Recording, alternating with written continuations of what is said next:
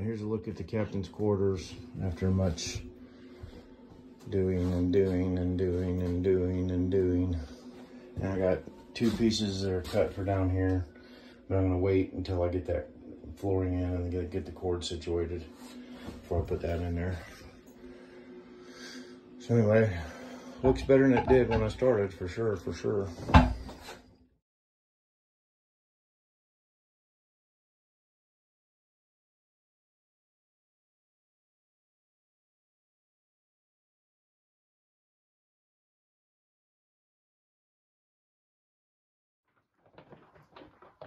We're working with some reclaimed flooring.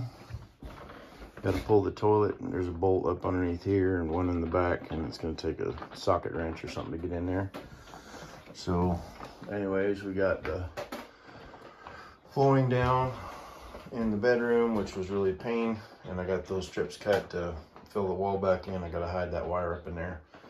And then that can go on. And she all coming together, man. She all coming together. All right, so you're laying some floor, you're laying some floor, you're laying some floor, and then you got to go around the corner. So I started with a short piece because this piece is over four feet long. So I clipped in a scrap, clipped that one in, notched it out for my for my wall, and then I had to go back lay up to the toilet. So after I got this part established by using a paint can to get my circle, then I put the clip the two pieces together, set the can over the top, traced around it, got my hole, and then clipped it together. Now I can get this last piece um, cut and figured out, and then I'll have to clip it in all at the same time.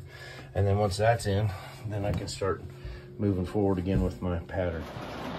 And it started raining again, and my rain vents work. It closes the little hoods, so that's pretty cool. Anyway, we got the bathroom laid in here. Got my last little piece notched out, cut in here. Um, I cut it to length first so it fall flush just past his doorway just a little bit so that the next piece will clip into here. And then I, got, I tried to keep my seams out of this doorway and keep full pieces in the bathroom just because it's your wet area.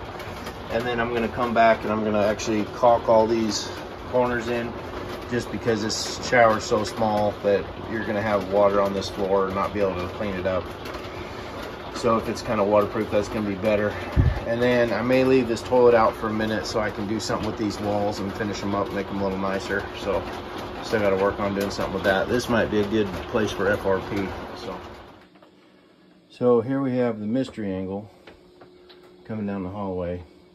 So what I did was use this piece as my straight edge, butt it up against here, make that so it fits my piece that I'm gonna cut off. Then I got two pieces clipped in here to keep this parallel with the floor that's in there. So that way, I'll take these out. Now I can cut that piece off and when I shove it up in there, it'll match the same angle. And then I can cut that little notch. but it is not 45 and I don't know what angle it is because it's just a mystery angle. I'm feeling like a reclaimed flooring superhero right now because this floor is in. All the way around all the things in. And I can even cut a, a little piece there because I was just trying to use up scrap. And all the pieces are in and it looks really great. And how many pieces do I have left? Not counting the damaged ones. I got one two three four. Four pieces left. Nailed it. Nailed it. Nailed it and I got a few scraps left. And then what I'm gonna do with those is back in that corner there, boop, boop, boop, done.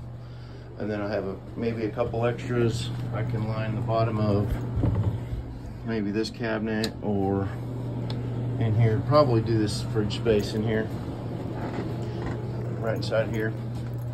Where I took the fridge out because that's kind of nasty. Nasty. And maybe stick a little lip on the front there to keep the refrigerator from sliding out because it'll be a little bit slicker. But otherwise, I think we're in pretty good shape. Get some black paint in here, dress side up, do a little paper and tape on the floor so I can start finishing my painting. And then, yay, I'm gonna be doing backsplashes. It's gonna be awesome. And this place fills up with stuff really, really fast. It does not take long before it's like, whoa, there's a bunch of stuff in here. So, a microwave, yay! So, super happy about that. Really glad to be far enough ahead on this that I can actually have this floor in and get a better idea what this is going to look like in here once I get everything done. I don't think that's going to be too bad. Once I get the mess cleaned up, it'll really start looking sharp.